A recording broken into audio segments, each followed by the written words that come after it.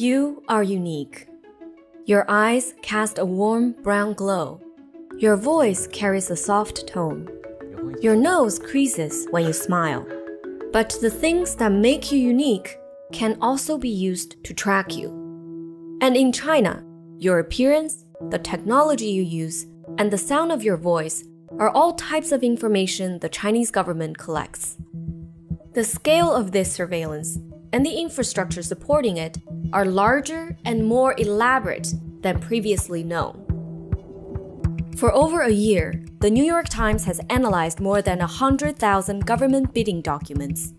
They span two decades and were collected and shared exclusively with us by ChinaFile, a digital magazine published by the Asia Society. In these bidding documents, government agencies from across the country detail what surveillance products and services they need, from phone trackers to equipment used to collect iris scans and DNA samples. These documents explain the strategic thinking behind the purchases and invite companies to bid for project contracts. Together, they reveal China's ambition in collecting vast amounts of sensitive personal data. From the local to national level, China aims to gather as much information as possible on its citizens, centralize this data, and use it to maintain authoritarian rule over its entire population. Let's start with the cameras, the foundation of China's surveillance state.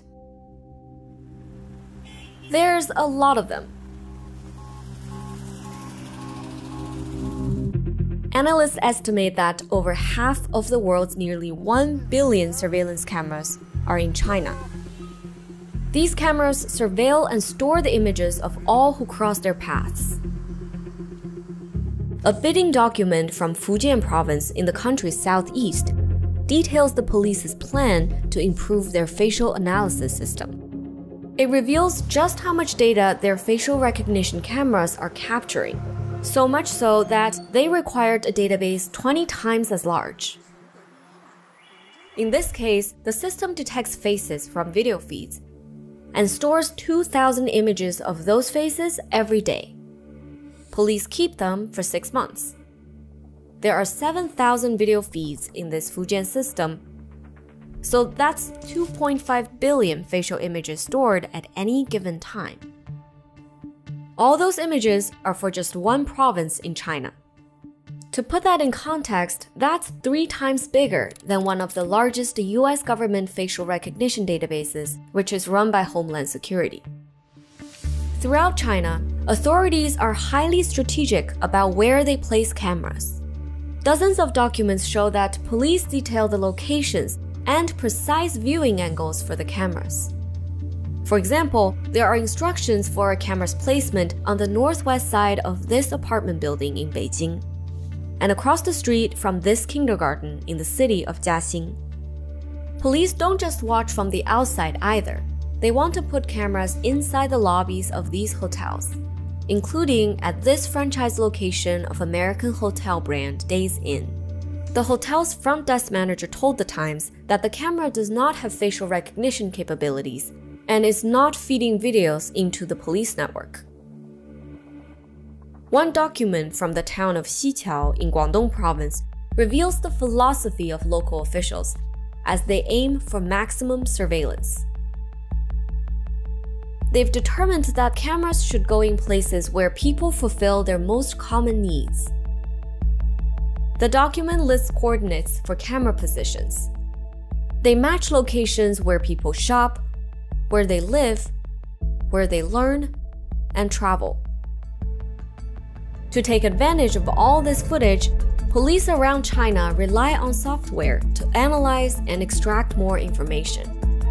State media promotes the software's ability to identify a person's race and ethnicity, the color of their clothes, and whether they're wearing a mask or glasses. Documents show this technology can search a person's image in existing databases for a match. These search results often contain more specific information about the person, like their national ID number, name, sex, and permanent address. While this type of technology is readily available, the documents show the government doesn't think it's being used widely enough. In one, China's top police agency complains that the analytical capabilities need to be better and are too decentralized. The government is determined to not only fix these consolidation issues, but to branch into new and more invasive surveillance technologies. While cameras track you in public, much of your private life is on your phone. Your location, the apps you have, the things you say online. The government is using all of this information to monitor you without you even knowing. Police use phone trackers to help connect your digital life to your physical location. Our investigation found a dramatic expansion of their use across China. Sometimes the trackers are invisible, hidden within cameras. Others look like Wi Fi routers. Here's how authorities put this technology to work. Your phone is constantly searching for the strongest available network signals. Some trackers, known as IMSI catchers, imitate strong cellular signals, luring your phone's connection before capturing its unique identifying information. Other trackers, like Wi Fi sniffers, lie in wait on public Wi Fi networks, intercepting and analyzing your phone's outbound communications. Since these trackers can be installed throughout a city, authorities can use them to map out a phone's movements. Let's say you post something online that the government finds incendiary. Police can go to social media companies and find out your username, phone number, and your device ID. They can then look up that device ID to see what the trackers have captured. This way, police can find out where you've been and where they might be able to find you. These trackers can also exploit weak security practices and might be able to screen the apps you've installed. And those apps can say a lot about you. For example, police from a county in Guangdong bought phone trackers and hope they can use them to detect which phones have a Uyghur to Chinese dictionary app. Users of the app are likely part of the Uyghur ethnic minority, a group that is heavily surveilled and oppressed by the government. In 2019, a New York Times journalist walked around a city in Xinjiang where most Uyghurs live. There, he found 38 Wi Fi sniffers in just one neighborhood. We traced one of the earliest phone tracker purchases to Shandong province in 2015. Seven years later, according to our analysis, all 31 of mainland China's provinces and regions have them. Phone trackers are powerful tools on their own. But here's what happens when you combine them with other data. These are internal product presentations we obtained from Megvii, one of China's biggest surveillance contractors. Megvii's technology compiles various types of personal data from mobile devices, cameras, and other sources. Megvii told The Times its aim is to make communities safer and not, quote, about monitoring any particular group or individual. But this product is already being used by authorities and can display a person's movements, clothing, vehicles, mobile device information, and social connections. It shows us the type of dossier that authorities could generate for anyone. But we found that the pursuit of your personal data goes even further to the biology of what makes you who you are. This is the next frontier of surveillance in China. The government is actively collecting voice prints, iris scans, and DNA samples from its people and maintains that the primary use of this material is to track criminals. Chinese media often promote these efforts, but the documents repeatedly show that police are gathering troves of material from everyday citizens too. Like in the city of Zhongshan, here, a document reveals that police are adding devices to record audio from at least a 300 foot radius around their street cameras. The document outlines their plan to use voice recognition software to analyze the audio and add people's voice prints to a database. The police hope that combining voice recognition systems with facial recognition cameras will help them identify targets faster. But since your voice, much like your appearance, alters over time, our investigation shows Chinese authorities are starting to collect personal identifiers that are less likely to change over time, such as iris patterns. One document reveals that in Xinjiang, where millions of Uyghurs live, a government contractor built a database that can hold iris samples of up to 30 million people, enough to cover Xinjiang's entire population.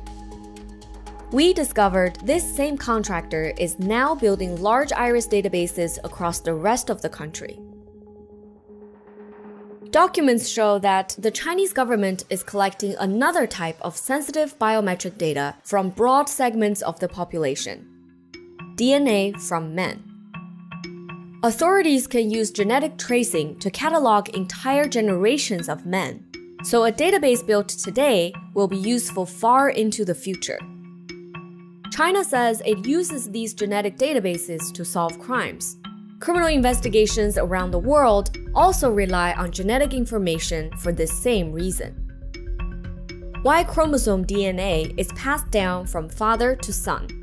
Given a genetic sample from an unknown male suspect, investigators can compare the man's Y DNA to samples already present in their databases. A match indicates a relationship along paternal lines and helps pinpoint the suspect's family history and geographic ancestry.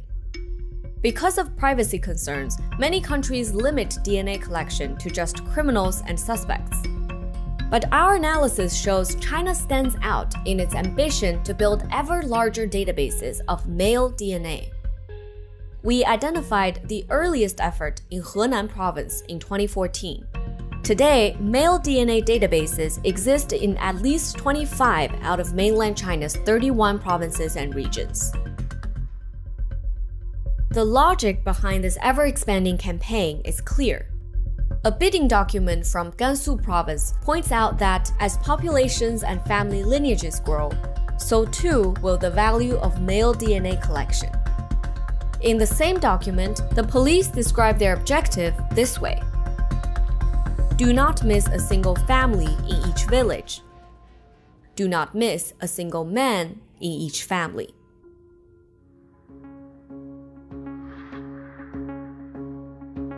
From faces to DNA profiles, iris scans to voice prints, the Chinese government is consolidating vast quantities of unique personal data with one ultimate goal to build a comprehensive profile for each citizen, accessible anytime, anywhere, up and down the ranks of the government. This sweeping surveillance effort lays the groundwork for even more advanced methods of control. The documents show that the state is even working towards predicting potential threats before they materialize. It is building a future in which mass surveillance supports authoritarian rule, and it's unlikely to stay in China.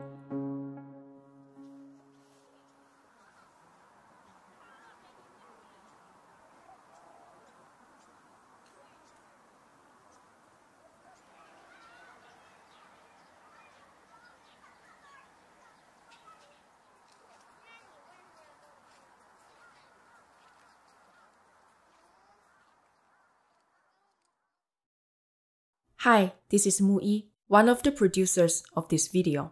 Our team spent over a year analyzing more than 100,000 government bidding documents to reveal how China's surveillance state is seeking sensitive personal data at an unprecedented scale. We also obtained internal presentations from a security contractor and reviewed police manuals and state propaganda. We'll have more coverage of China's invasive surveillance efforts including how officials are trying to predict the future to stop threats before they even materialize. You can see our ongoing coverage at the link on the screen.